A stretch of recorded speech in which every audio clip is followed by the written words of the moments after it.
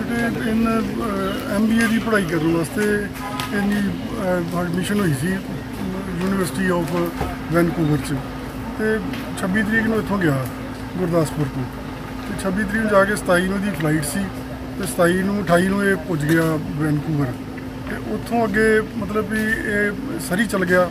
ਉੱਥੇ ਮੇਰੇ ਫਰੈਂਡ ਸੀ ਤੇ ਉਹਨਾਂ ਦੇ ਅੱਗੇ ਸੋਰਸ ਸੀ ਉਹ ਲੈ ਗਏ ਇਹਨੂੰ ਆਣ ਕੇ ਤੇ ਉੱਥੇ ਰੇ ਕਰਦਾ ਸੀ, ਕਲਾਸਾਂ ਨੂੰ ਜੁਆਇਨ ਕਰਦੀ ਦੀਆਂ ਸੀ ਆਪਣੀਆਂ ਜਿਹੜੀਆਂ ਤੇ ਆਨਲਾਈਨ ਕਲਾਸਾਂ ਲੱਗ ਰਹੀਆਂ ਸੀ ਤੇ 19 ਤਰੀਕ ਨੂੰ ਅੱਗੇ ਸਾਡੇ ਨਾਲ ਡੇਲੀ ਗੱਲ ਕਰਦਾ ਸੀ ਕਿ ਸਵੇਰੇ ਸ਼ਾਮ 19 ਤਰੀਕ ਦੀ ਰਾਤੀ ਸਵੇਰੇ ਵੀ ਗੱਲ ਕੀਤੀ, ਸ਼ਾਮੀ ਵੀ ਗੱਲ ਕੀਤੀ ਆ।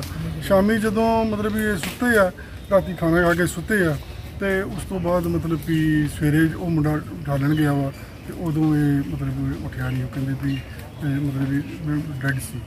ਤੇ ਸਾਨੂੰ ਪਤਾ ਲੱਗਾ ਤੇ ਅਸੀਂ ਮਤਲਬ ਵੀ ਉਦੋਂ ਦੇ ਹੀ ਇਹੀ ਉੱਤੇ ਸੰਪਰਕ ਕੀਤਾ। ਚਲੋ ਮੇਰੇ ਬਹੁਤ ਖਾਸ ਦ- ਦੋਸਤ ਸੀ। ਉਹਨਾਂ ਦੇ ਸਹਿਯੋਗ ਦੇ ਨਾਲ ਇਹ ਜਿਹੜੀ ਆ ਬੋਡੀ ਜਿਹੜੀ ਆ, ਉਹ ਮਤਲਬ ਵੀ ਗੁਰਦੁਆਰਾ ਦਸ਼ਮੇਸ਼ ਦਰਬਾਰ ਤੇ ਮਿਸਟਰ ਰਾਜਵਿੰਦਰ ਸਿੰਘ, ਮੇਰੇ ਫਰੈਂਡ ਸੀ ਉੱਥੇ ਮਾਨ ਉਹਨਾਂ ਦੀ ਸਰਕਾਰ ਸਾਨੂੰ ਬੋਡੀ ਜਿਹੜੀ ਆ, ਉਹ ਹਫ਼ਤੇ 10 ਦਿਨ ਦੇ ਵਿੱਚ ਉੱਥੋਂ ਮਤਲਬ ਸਾਡੇ ਕੋਲ ਪੁੱਜ ਗਈ ਤੇ ਅੱਜ ਹੀ ਸੰਸਕਾਰ ਕੀਤਾ ਇਸ ਕੋਈ ਸਰਕਾਰਾਂ ਵੱਲੋਂ ਤਾਂ ਨਹੀਂ ਕੋਈ ਮਤਲਬ ਅਹ, ਨਹੀਂ ਨਹੀਂ ਕੋਈ ਸਰਕਾਰ ਵੱਲੋਂ ਕੋਈ ਨਹੀਂ ਸਰਕਾਰ ਵੱਲੋਂ ਵੀ ਸੰਨੀ ਦਿਓਲ ਜਿਹੜੇ ਸੀ ਉਹਨਾਂ ਦਾ ਜਿਹੜਾ ਓਐਸਡੀ ਆਪਣਾ ਸ਼ੋਕ ਚੋਪੜਾ ਜੀ ਉਹਨਾਂ ਨੇ ਸਾਡੀ ਇਸ ਅੰਬੈਸੀ ਵਗੈਰਾ 'ਚ ਜਾਂ ਸਾਨੂੰ ਪਾਸਪੋਰਟ ਦਿਵਾਉਣ 'ਚ ਅਸੀਂ ਪਹਿਲਾਂ ਸਾਡਾ ਜਾਣ ਦਾ ਪ੍ਰੋਗਰਾਮ ਵੀ ਸੀ, ਉਹਦੇ 'ਚ ਸਾਡੀ ਉਹਨਾਂ ਨੇ ਮਦਦ ਕੀਤੀ। ਚੋਪੜਾ ਜੀ ਅਸੀਂ ਉਹਨਾਂ ਦੇ ਵੀ ਬਹੁਤ ਧੰਨਵਾਦੀ ਹਾਂ।